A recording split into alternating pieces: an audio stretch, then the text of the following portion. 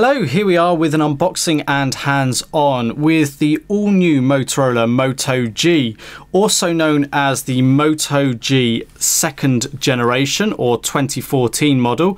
There's some key differences uh, that we'll come on to as we complete this unboxing and hands-on. So first things first then, we can see that this is the XT1068 Moto G second generation. We've got a quick rundown of some of the specifications here. So 8 gig of internal storage and we've got the GSM and WCDMA bands here. So you can see it's a fairly sort of standard Motorola packaging that we've seen of late. Let's open up the box and show you the phone or we'll show you it in just a moment.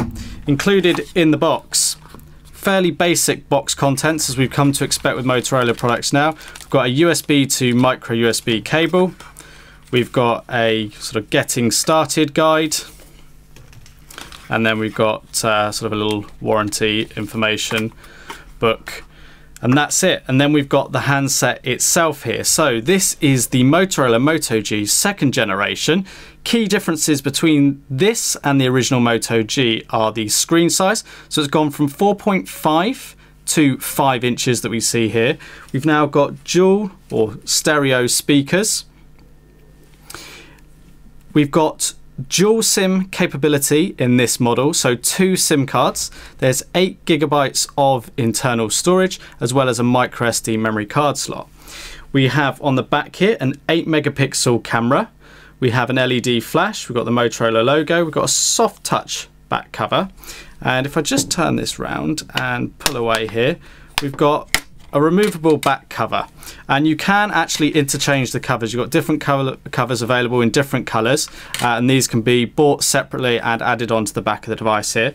So you can see that we've got sim 2 and sim 1 so we can have two sim cards in this device at any point. And then we've got the SD slot up here for the additional memory. So that's it. The battery which is 2070 milliamp hours is actually built in. It can't be removed by you or I as the user. On the bottom of the device, we've got the micro USB port. On the right side, we've got the volume keys and the power button. On the top, we've got a 3.5 millimeter headphone jack and we've got a microphone. And on the left side, it's completely flush. There's a little bit of curvature uh, to it there. Feels quite nice and comfortable in the hand. It weighs in 149 grams and is uh, just shy of 11 millimeters thick. So not a bad little handset all told. We've got a 2 megapixel front facing camera up there and on the front here we've still got the screen protector on but uh, there is actually um, Corning Gorilla Glass 3. So very quickly you've got a basically stock Android experience with only a couple of uh, alterations from Motorola themselves. So if we go into the app drawer here, we've got Alert and Assist, and we've got Motorola Migrate, which uh, Motorola have added on for transferring your data. But everything else is pretty much stock Android version 4.4.4. This will be upgradable to Android L.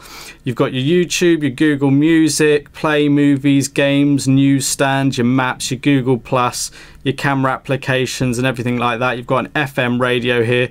You've got your standard sort of messaging and Hangouts service. Let's just go into the settings a little bit and show you some of the information here. So about the phone, Moto G second generation Android 4.4.4.